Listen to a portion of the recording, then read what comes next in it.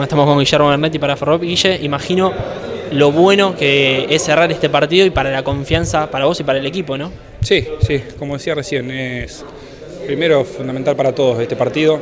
Creo que necesitábamos un partido así para bajar un poco el nerviosismo por ahí de todos y, darnos, darnos confianza en nosotros mismos.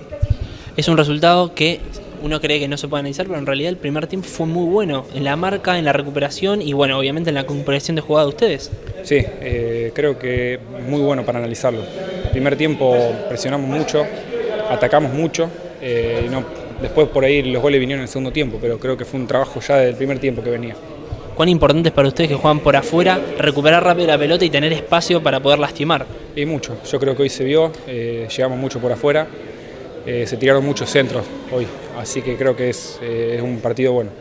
¿Cómo te sentís vos, Guille? Quizás había partidos donde no salían las cosas como vos querías y otros que sí, y encontrás este partido que te llena de confianza, dos goles, buen eh, rendimiento individual. ¿Cómo lo analizás para vos?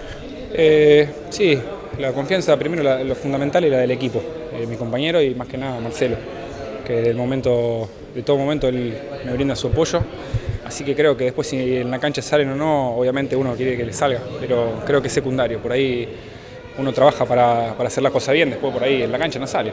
Eh, pero siempre la confianza es la que me dan los compañeros y el técnico. Un resultado quizás irreal o imaginario en otros partidos, pero cuán importante es para la confianza de, cara a lo que viene para meterle presión a los de arriba, ¿no? Sí, por ahí irreal, pero bueno, eh, hay veces que terminamos 1-0 y no los hacemos y hoy, hoy los hicimos, así que creo que hay que quedarnos con que hoy se hizo. Bueno, Guille, muchas gracias y a disfrutar. Gracias, hasta luego.